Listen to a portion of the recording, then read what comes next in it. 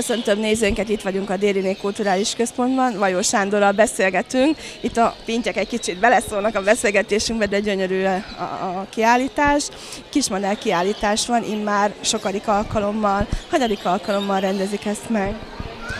A délkelet magyarországi regionális kiállítást, ezt ötödik alkalommal, ez egyben ma már együtt fut a dr. Hazai Béla emlékkiállítással, amely a mai alkalommal már a 11 és 2007-ben vettük föl a délkelet-magyarországi régiót ehhez a kiállítás sorozathoz, és azóta több-kevesebb kihagyással így aztán párhuzamosan rendezzük, tehát a párhuzamos rendezésben ez az ötödik rendezés. Hány kiállító érkezett ide, és hány településről?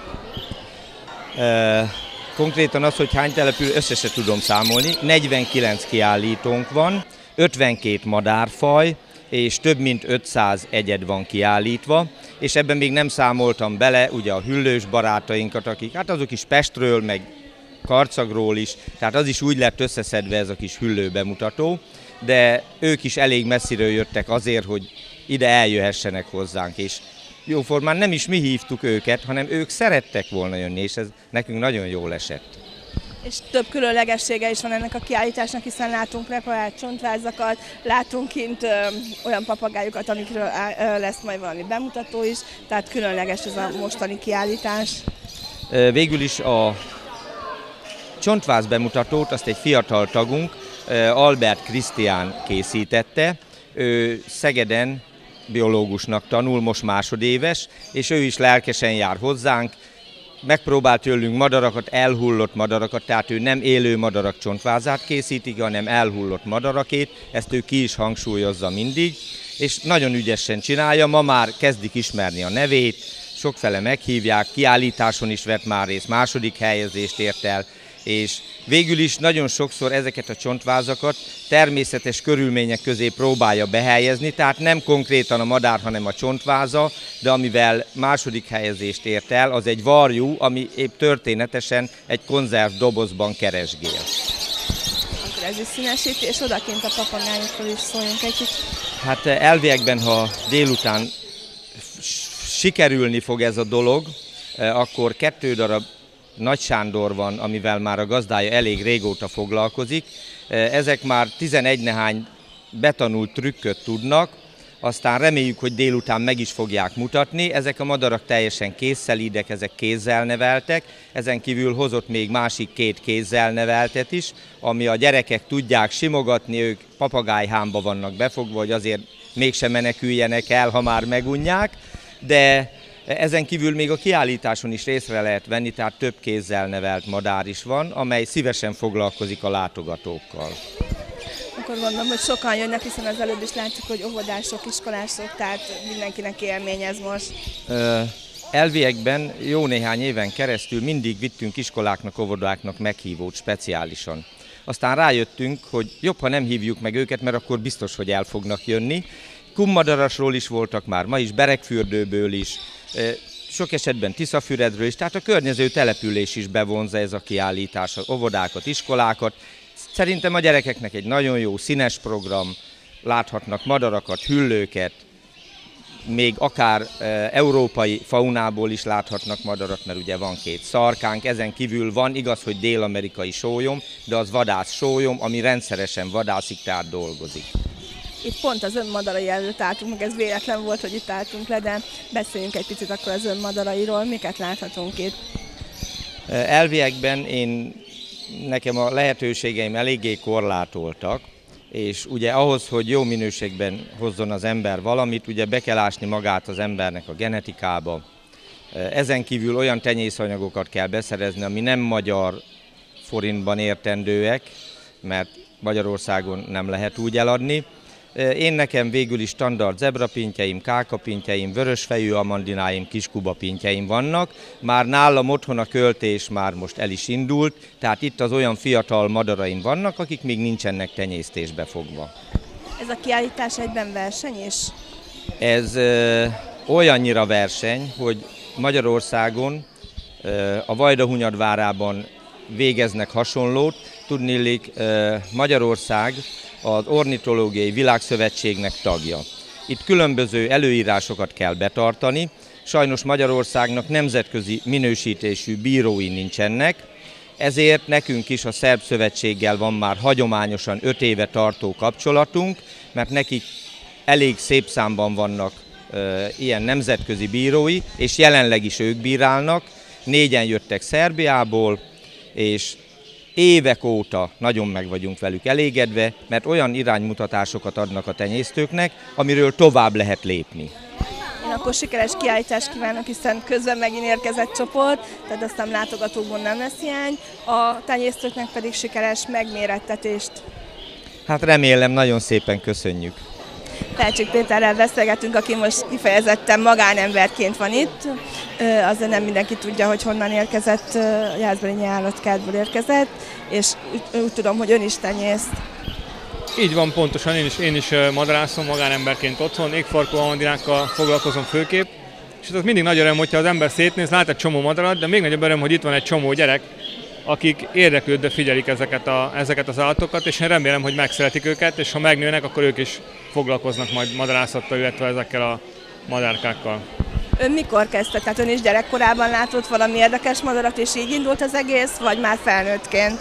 Hát én többször neki fogtam ennek a, ennek a dolognak, már gyerekkoromban is érdekelt a, a természet, meg érdekeltek a madarak, de hát akváriummal kezdődött, aztán jöttek a, a zebrapintyek, aztán most már exotákkal foglalkozom, meg hát ahogy eltetszett mondani, ott van egy egész állatkert, amit vezetek, tehát ez egy elég, elég nagy és összetett munka. Itt mondta, hogy segített is a, a bepakolásban is. Van itt most kedvenc olyan madara, amit úgy szeretne megmutatni, hogy igen, különleges, vagy önnek valamiért kedves? Hát nekem az exoták a, a kedvenceim, tehát nagyon szeretem a guld amandinákat, ezek nagyon szép, gyönyörű, színes madarak, talán a legszínesebbek és a rácsos asztrildokat, amik egy picike pöttyös, barnás, fehéres madarak, és egy ilyen nagyon kis törékeny madárkák, de nagyon szép mind a két faj. De én azt gondolom, hogy igazából minden, minden madár szép, tehát hogyha az ember foglalkozik velük, figyeli őket, megismeri őket, akkor, akkor meg fogja őket szeretni hogyan ajánlaná a szülők figyelmébe, hiszen itt gyerekek vannak, tehát hazamennek, az élményeiket biztos, hogy elmondják otthon, anyuka, apuka tiltakozik, hogy nem, mert, mert és akkor sorolják az érveket. Ön hogyan győzni meg azokat a szülőket, akik esetleg most nemet mondanak a gyermeküknek erre? Hát ugye azt szokták mondani a madarakról, hogy hangosak meg, hogy koszolnak, ez igazából mind a kettő igaz, főleg a papagájok hangosak, de koszolni minde, mindegyik madár koszol, mert a maké az ki röppen a kalickából. De én azt gondolom, hogy ha odafigyelünk erre, és a, a gyermekünkkel együtt próbáljuk meg tartani ezeket, a, ezeket az állatokat, és közösen küzdünk meg azokkal a problémákkal, amik felmerülnek. Legyen ez akár a szaporodással kapcsolatos dolog, akár a, akár a takarítással, akkor ez részben a családot is összehozhatja egy picit a, a, a közös hobbi, és mindenképpen örömet fog okozni az, hogyha ezek a madarak szaporodnak, vagy csak csivitelnek, amikor, amikor fel kell a nap. Én úgy gondolom, hogy érdemes ezt megpróbálni annak, aki egy kis vágyat érez ahhoz, hogy valamilyen állatot tartson. És mivel indítana egy ilyen családot, aki most szeretne, mit vegyenek, tehát mi az, ami a legkevésbé hát, igénytelen idézőjelbe tenném ezt az igénytelen szó, de ö, kevés foglalkozással is elég. Igazából ugye eleget foglalkozni egyetlen egy madárral sem lehet, de vannak olyan fajok, amit szoktunk ajánlani kezdőknek. Papagájok közül főleg a hullámos papagáj, ninfopapagáj az, amit, amit a kezdők szoktak tartani. Az exoták vagy pintyek közül a zebrapinty az egyik ilyen klasszikus, vagy a, a japáni sirályka, ami viszonylag igénytelen egyszerű táplálékkal beéri, azonban azt mindig tartsuk szem előtt, hogy a lehető legnagyobb kalickába kell tartani a madarat. Tehát ha arra gondolunk, ugye a mintát az állattartáshoz, a madarakhoz is mindig a természetből vesszük.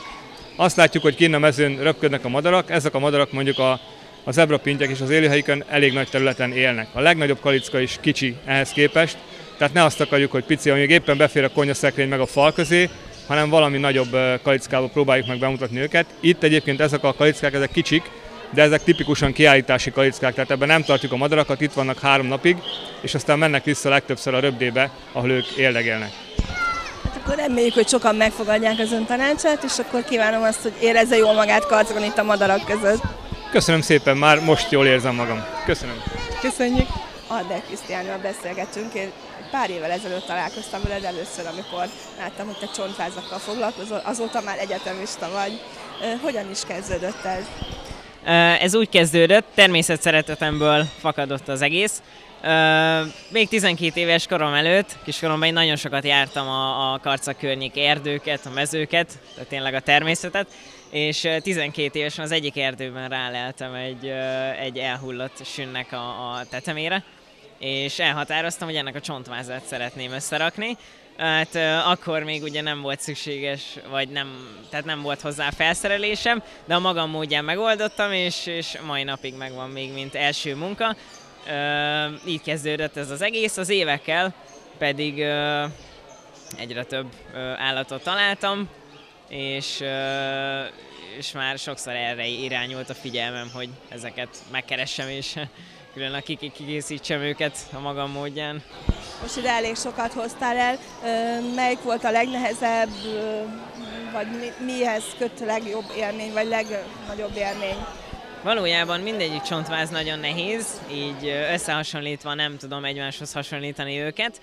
Mm, legjobb élményhez pedig a dolmányos varjú csontváza köt, mivel most szeptember hónapban Soponyán egy vadgasztronómiai fesztiválon belül volt rendezve egy kisebb preparátorverseny, és ezen második helyezést nyertem ezzel a csontvázzal.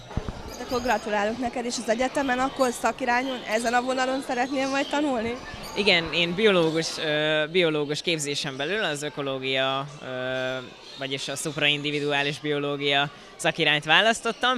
Ez főleg állatokkal, növényekkel, terepi munkával foglalkozik, tehát ez nem laboratóriumi vagy sejtszintű dolog hanem inkább ezeket az emberi szemmel is, észre is felfogható dolgokat foglalja magába. Hát akkor én még sok szakmai sikert kívánok neked, és akkor reméljük, hogy még sokszor találkozunk a munkáiddal. Nagyon szépen köszönöm!